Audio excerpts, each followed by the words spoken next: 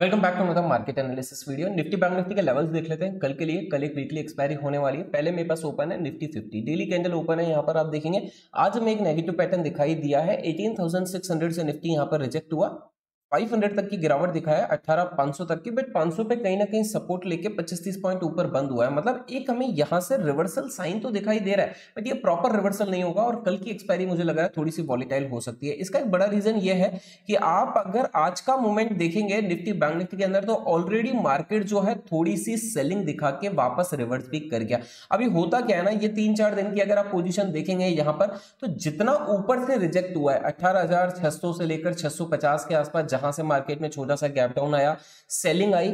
इस जगह पर ऑलरेडी कॉल सेलिंग करने वाले कॉल राइटर्स मार्केट में पोजीशन बना चुके हैं इस वीक एक्सपायरी के लिए। मार्केट आज नीचे गिरा कॉल राइटर्स को पैसा मिला थोड़ी सी प्रॉफिट बुकिंग भी आई और मार्केट यहाँ से थोड़ा सा ऊपर रिवर्स भी किया। इसका मतलब ये सपोर्ट बन गया तो इस जगह पे पुट राइटर्स भी आज ऑलरेडी थोड़े बहुत तो आ चुके होंगे। तो होता क्या है, अगर कल मार्केट फिर से एक छोटी सी गैप अप ओपनिंग दिखा दिया तो मार्केट इसी रेंज के बीच में फंसा रह जाएगा। बट पैनिक कब आएगा, जब ये पुट राइटर जो सपोर्ट के आसपास बेच के गए होंगे। अगर मार्केट ने फ्लैट ओपनिंग या छोटी सी गैप डाउन ओपनिंग दे दी तो ये पुट राइटर जो है पैनिक में आएँगे।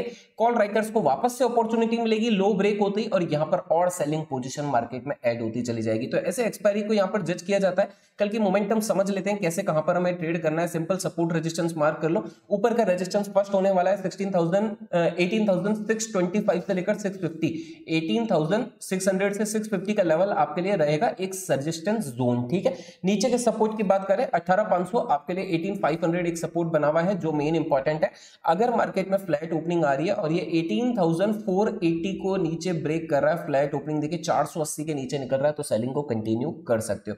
मार्केट अगर फ्लैट ओपनिंग दे रहा है और मार्केट ऊपर निकल रहा है तो ऊपर निकल जाने तो आपको बाय ट्रेड मिलना नहीं है। क्यों बाय ट्रेड नहीं मिला?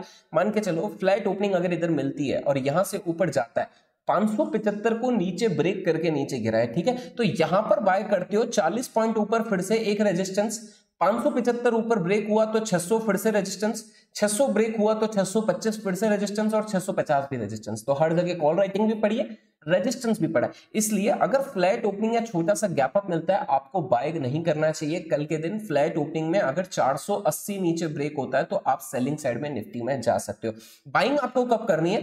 एक बहुत बड़ा गैप अप आ जाए मार्केट पूरा दिन ऊपर जाके साढ़े दस, ग्यारह बजे तक मार्केट होल्ड करे, सवा छह सौ, साढ़े छह सौ के आसपास, उसके बाद में छह सौ पचास को ऊपर दिन को जाके ब्रेक करता है, ग्यारह बारह बजे सिक्स फिफ्टी के ऊपर निकलता है अट्ठारह छह सौ पचास के ऊपर तो वहाँ पर बाइंग बन जाएगी बट वो बाइंग मॉर्निंग में बिल्कुल नहीं बनेगी। अगर मॉर्निंग ट्रेड मिलना है तो वो फ्लैट ओपनिंग या छोटे से गैप डाउन में चार सौ अस्सी के नीचे आपको सेंटेड ही मिलेगा। अदरवाइज़ मार्केट ये छह सौ पचास से लेकर पाँच के बीच में, ये डेढ़ पॉइंट के बीच में आपको साइडवेज ही दिखाई देगा। एक बार ऑप्शन चेन भी लेते हैं। निफ्टी का ऑप्शन चेन अगर आप देखोगे, यहाँ पर तो कॉल राइटर कहाँ पे आ चुके हैं? हम लेवल की बात कर रहे हैं अठारह पाँच सौ और अठारह छह सौ के आसपास। अठारह छह सौ पे ऑलरेडी एक करोड़ चालीस लाख के आसपास का डेटा कॉल राइटिंग का आ चुका है तो अठारह छह सौ हमारे लिए एक स्ट्रॉन्ग रेजिस्टेंस बना हुआ है, ठीक है? इसके नीचे बात करें, अठारह पाँच पे भी आज डेटा एड हुआ है, अठारह पाँच भी हमारे लिए यहाँ पर कॉल राइटिंग हैवी पड़ी है तो लग रहा है पाँच नीचे ब्रेक होती सेलिंग आएगी, पाँच पे भी हैवी कॉल राइटर कल की एक्सपायरी के लिए आ चुके हैं।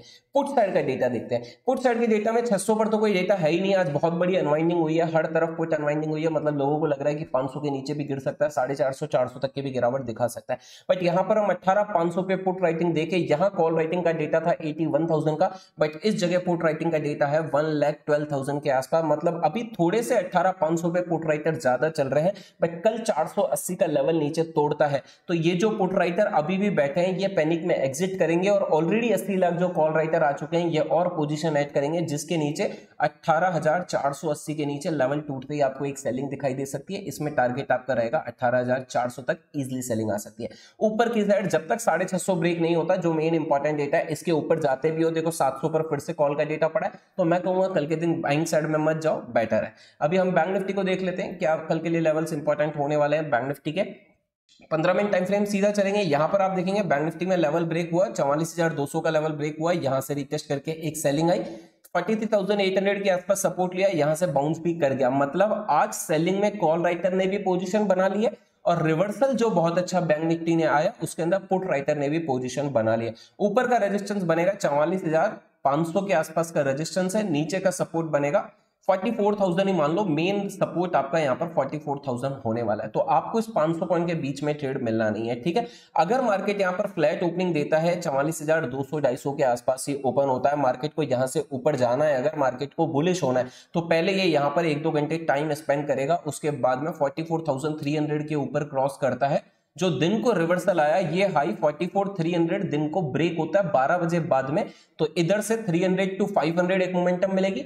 500 के ऊपर निकला तो 44,750 तक की भी आपको एक और मोमेंटम मिल जाएगी। बट अगर मार्केट मॉर्निंग में गैप अप देके ऊपर निकल गया तो ये 44,500 44 500 से लेकर 400 ये सारे रेजिस्टेंस बन जाएँगे। अगर मॉर्निंग में ऊपर चला गया और ये रेजिस्टेंस लेकर वापस नीचे गिरने की कोशिश करेगा, अगर मॉर्निंग में आपको ऊपर मिल रहा है तो वहाँ पर शूटिंग स्टार वगैरह देख के आप सेलिंग प्लान कर सकते हो। अगर मार्केट छोटा सा गैप डाउन देख के चवालीस के नीचे निकल रहा है, अभी चवालीस हज़ार तीस के आसपास बंद हुआ है, चवालीस हज़ार के नीचे छोटा सा गैप डाउन देके निकल रहा है तो यहाँ पर सेलिंग बनेगी। पहला टारगेट बनेगा आपका तैयालीस आठ सौ का।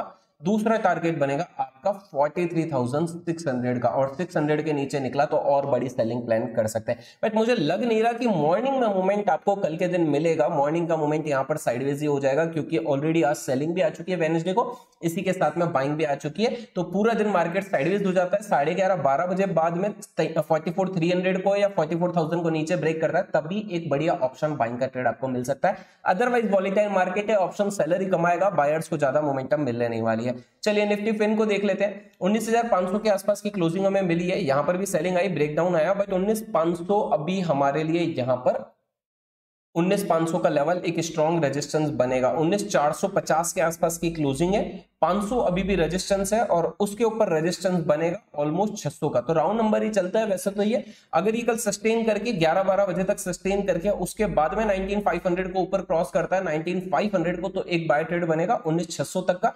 अगर ऑलरेडी गैप अप ओपनिंग आ रही है तो साढ़े पाँच का लेवल रेजिस्टेंस बन जाएगा जहाँ पर शूटिंग स्टार वगैरह देख के सेल कर सकते हैं। बट अगर मार्केट ने फ्लैट ओपनिंग दे दी तो मार्केट इसी के बीच में साइड देते छोटा सा गैप डाउन दे 19,350 को नीचे क्रॉस करे लो को नीचे क्रॉस करे तो 350 के नीचे 19,250 तक के लिए निफ्टी फिन को भी हम यहाँ पर सेल कर सकते हैं। वैसे कल इसका दिन रहेगा नहीं निफ्टी बैंक निफ्टी को ही ये काफ़ी अच्छे से फॉलो करेगा। वॉलिटिलिटी कल बनी रह सकती है मार्केट के अंदर मॉर्निंग के अंदर ट्रेंड ट्रेड मत पकड़ना। अगर स्कैल्पिंग में मिल जाए सत्तर से सौ पॉइंट बैंक निफ्टी में 200 पॉइंट निफ्टी में सत्तर अस्सी पॉइंट बुक कर लेना। बट अगर दिन को यही ब्रेकआउट आ रहे हैं तो आपको अच्छे ट्रेड मिल सकते हैं। Thank you